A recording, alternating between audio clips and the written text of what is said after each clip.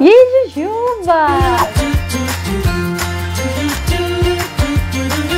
mais um Socorro Ju para vocês. E se você não conhece, está chegando agora no canal, o Socorro Ju é um quadro que você envia a sua dúvida para mim sobre cabelo e eu vim aqui responder, né? Dessa vez a gente fez o Socorro Ju diferente, nós sempre pegamos os e-mails lá do e-mail, que vou deixar aqui embaixo para vocês, mas dessa vez fomos lá na comunidade, aqui do YouTube mesmo, para pegar as perguntas mais, como fala? Likeadas, as perguntas que tiveram mais like lá na foto que eu postei aqui na comunidade são as que vão ser respondidas hoje, tá bom? Então bora lá!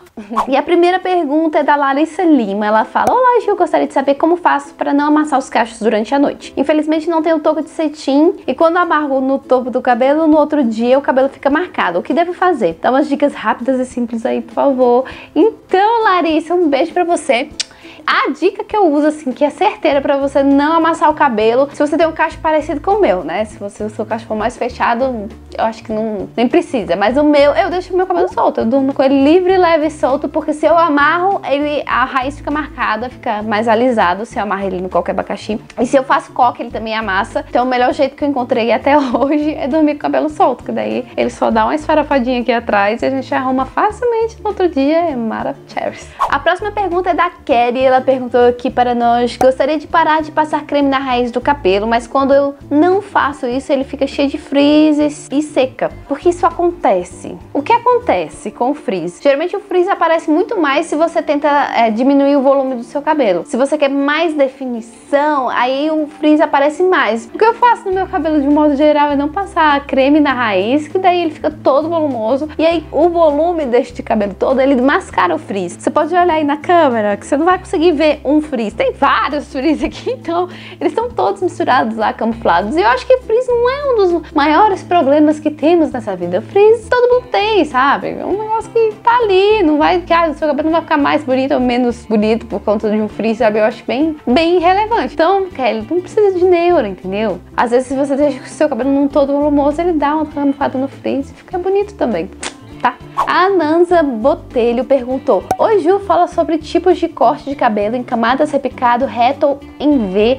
as diferenças entre eles e principalmente a relação de volume do cabelo, tá? Um beijo. Ananza. Vamos falar sobre cortes de cabelo cacheado. O meu preferido de toda a vida é o corte em camadas. Eu já falei várias vezes aqui no canal sobre esse corte, que é o corte do meu cabelo, que ele tem várias camadinhas, daí ele vai distribuindo o volume dos cachos num todo. No final dá um, um efeito mais redondinho pro cabelo, sabe? Que é um efeito que eu gosto bastante e que dá muito certo porque o volume não fica num lugar só, ele é distribuído sabe, harmonicamente pelo, pelo, pelo, pela cabeça, pelo rosto, enfim.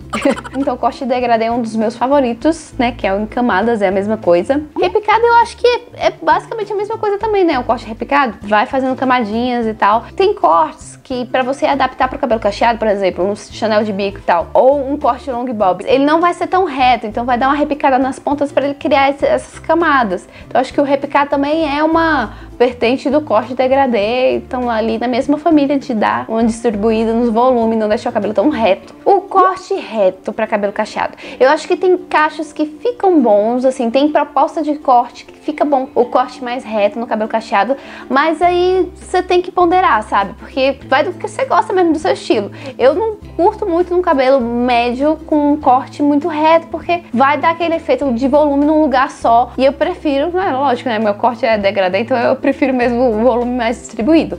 Mas eu acho lindo também aquele corte long bob mais curtinho, assim, no ombro, retinho. E dependendo do tipo de cabelo, eu acho que fica legal. Dependendo do tipo de cacho, fica legal também. Enfim, aí vai muito da vibe. Mas em mim mesmo eu prefiro o corte repicado. Mas vai ter sua vibe, aí você escolhe, amiga. E o corte V, que é um corte muito bom, assim, pra quem tem cabelo grande, principalmente, porque não tem como fazer muito degradê. O corte V é legal, mas em mim também eu não curto muito o corte V por conta da ponta que ele fica aqui. Quando você põe o cabelo nessa posição que tá aqui agora o meu, ele fica uma pontona. Aí eu não curto muito. Então, é só isso que eu tenho pra falar sobre o corte V. Fica lindo, cabelos grandes e tal. Mas em mim mesmo eu não curto aquela ponta, né? Um corte médio, igual fica no meu cabelo assim, um corte médio. Fica aquela pontinha que me irrita um pouco, sabe? Inclusive, tem vídeo aqui no canal que eu falo sobre vários tipos de corte, cortes tendência pra 2016, 17, 18 talvez, não lembro, mas são cortes que estão aí sendo usados até hoje, sabe? E a próxima pergunta é da Hilderline Silva. Ela fala: Oi Ju, eu queria que você me ajudasse. Eu nunca consigo ter tem after, sempre tenho que molhar o cabelo no dia seguinte, socorro. Miga, tem várias dicas pro after, mas eu acho que a dica que mais vai ser assim, a mais valiosa que eu posso te dar para ter um day after é hidratar bem o cabelo, porque daí o cabelo define mais e ele dura mais tempo a, a finalização, tá? Então hidrata bem o cabelo, nutre bem este cabelo, é a primeira dica que eu posso te dar. Segunda dica, a escolha do seu creme é super importante para ver se você vai conseguir ter um day after ou não. Então os cremes que definem mais o cabelo, eles costumam ter um day after melhor, um day after mais duradouro, porque ele é um creme que vai definir mesmo o cabelo. Então é isso que eu aposto. Até mesmo gelatina ajuda muito a definir o cabelo e no day after também ela fica super legal, fazer aquela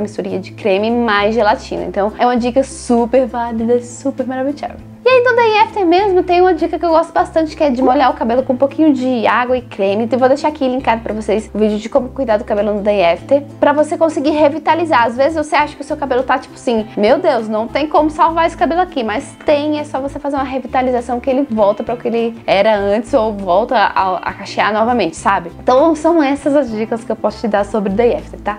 A Milly Oliveira perguntou: Oi Ju, queria saber quais os cuidados que temos que ter quando o assunto é crescimento. A primeira dica mais valiosa é cuide da sua alimentação, amiga. Tá cuidando da alimentação? Tá comendo verduras, frutas e principalmente coisas que tenham ferro, folhas verdes escuro. Elas ajudam muito no crescimento do cabelo, né? verduras, ajuda no, na pele, no crescimento do cabelo, nas unhas, beber muita água. Então, sua saúde tem que estar tá em dia para o cabelo crescer, tá? Dicas para acelerar o crescimento do cabelo que também valem são usar produtos que já são apropriados para crescimento capilar, igual a Salon mesmo tem a linha Bomba da Salon Line, que é uma linha que auxilia no crescimento do cabelo, tem ampolas. Óleo de rícino na raiz também ajuda super, que o óleo de rícino tem essas propriedades de fazer o cabelo crescer mais. E principalmente cuidar da saúde do seu cabelo, porque aí fica um cabelo comprido e bonito também, sabe? Então são essas as dicas para crescimento capilar. Eu sempre acho que se você cuida do seu corpo de dentro para fora, o resultado aparece muito, principalmente no crescimento do cabelo, né, pele e tudo mais. E eu aposto muito nisso também, tá? A próxima pergunta é da Vânia Souza e ela diz aqui que o cabelo dela é muito cacheado. Quando termina de finalizar, ele sempre encolhe. Aí todo mundo pergunta se ela cortou o cabelo. E a Vânia pergunta o que ela faz para acabar com o fator encolhimento. Um beijo, Vânia. Miga, deixa eu te falar, não tem como acabar o fator encolhimento. Não existe, porque nosso cabelo cacheado ele vai encolher. É da estrutura do fio ele encolher. Então, acabando o fator do encolhimento é só você ter o cabelo liso, né? Na verdade. Então, nosso cabelo vai encolher. Relaxa que é assim mesmo. Dependendo do seu tipo de cabelo, tem alguns truques. Pro meu cabelo que funciona super é não secar o cabelo com secador, que ele já vai não encolher tanto assim. Agora, se seu cabelo for um tipo 4, tem uma dica que a Ana faz, que eu vejo que funciona mesmo é secar o cabelo puxando assim com o secador. Que daí esse, essa puxada que você dá, ele meio que tira o fator encolhimento também é uma dica bem boa. Inclusive, amiga, se você tiver alguma dica aí pra, que você usa para diminuir o fator encolhimento, deixa aqui embaixo nos comentários, porque essas são as dicas que eu vejo que mais dá certo pro meu cabelo mesmo é não secar com secador, porque daí ele fica comprido. E essa outra dica de secar com secador diferente, é, puxando o cabelo e tal, é uma dica que funciona também. Então, se você tiver mais alguma aí, pode deixar nos comentários. Próxima pergunta é da Gabi Santos e ela diz aqui: Oi Ju, o cronograma capilar tem que ter produtos caseiros ou pode ser apenas com máscaras? Porque tenho uma vida corrida e não tenho tempo de fazer coisas caseiras. Um beijo, Gabi! E assim, hoje em dia a gente tem praticamente um produto para cada etapa do cronograma capilar, então se você quiser, você não precisa fazer nada caseiro, só usa as máscaras mesmo. Você pode ver no rótulo da embalagem né, da máscara, geralmente elas já vêm dizendo de qual etapa eles pertencem àquele produto. E é bem simples, na nutrição você pode usar uma manteiga ou um óleo vegetal, que é só comprar lá, tá pronto. Hidratação você compra uma máscara específica para hidratação. E a reconstrução você pode fazer com queratina líquida, como eu já ensinei aqui no canal várias vezes, tá bom? É isso. E a última pergunta é da Darlene Oliveira. Ela fala: Ju, estou em transição e como faço para meu cabelo ficar cacheado na parte lisa? Um beijo, Darlene. Miga, tem uma dica maravilhosa para você cachear a parte lisa do seu cabelo. Não é um método definitivo, na verdade você tem que fazer ele toda vez, que é fazer texturização, dedo liso. Eu já ensinei aqui no canal, vou deixar linkado aqui para vocês os vídeos de texturização e dedo liso para você poder conferir. Não é um método definitivo, mas te ajuda muito a disfarçar aquelas duas texturas, tem uma durabilidade boa, né? Dá para você fazer day after, inclusive com dedo liso. E é isso, essas técnicas ajudaram muitas meninas a transição e eu acho que pode te ajudar também, tá bom? Esse foi o Socorro Ju de hoje. Se você gostou muito, já deixa o quê? Aquele like da amizade, da sinceridade. Se inscreva no canal Mulher para receber mais vídeos incríveis, tá? E é isso. Se você também quer ver sua pergunta aqui no Socorro Ju, manda um e-mail para socorro-ju@hotmail.com que a sua pergunta pode estar aqui no próximo Socorro Ju, tá? Um beijo, até o próximo. Tchau.